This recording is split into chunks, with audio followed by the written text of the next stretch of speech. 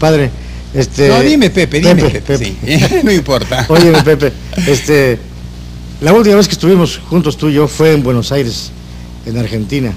Sí. Pero yo no lo sabía y tú ya traías dentro de ti ya el venirte a la orden franciscana.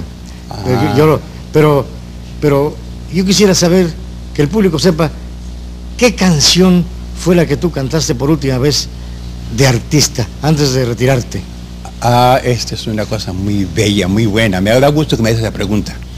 Yo estaba haciendo una película que se llamaba Melodías de América. Sí. Y la, la música de la película la hacía Agustín Lara. Trabajábamos juntos. Y un día de esos días en que uno se pone de confidente uno con otro, le dije a Agustín, esta es mi última película. ¿Qué estás diciendo? Le digo, sí.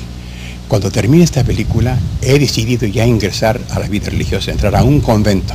No me digas, Pepe, porque era tan efusivo, ¿te acuerdas? Sí, no? sí. no me digas, Pepe, pero que por qué decir semejante cosa, una locura, no hagas eso. No, cálmate, Agustín, lo tengo bien pensado desde hace años. Creo que desde mi infancia, de mi juventud. Yo de que no, ya está decidido. Ay, Pepe, pero qué golpe me das tan tremendo.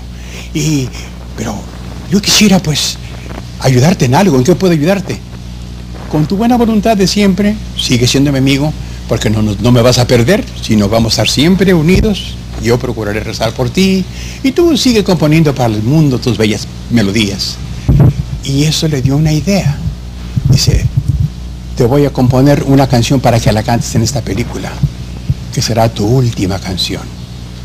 Gracias, le dije a Agustín. Se fue a dormir, yo me quedé en mi apartamento y al día siguiente, como a las 11 de la mañana, se, conoce, se pasó toda la noche desvelándose, ahí está componiendo la canción. Sí. Llegó y me dice, con un rollo de papel en la mano, me dice, Pepe, dice, te traigo la canción que te prometí ayer. Le digo, ay, tan pronto, dice, ya sabes que yo produzco así. ¿La quieres oír? ¿Cómo no? Con mucho gusto. A ver, tócala. Puso el papel en el piano y empezó a tocar una melodía bellísima. Y él con aquella voz que tenía tan dulce, tan, tan íntima, ¿te acuerdas? Sí, sí. Empezó a cantar aquella canción que tú recordarás y que también yo recuerdo con tanta emoción.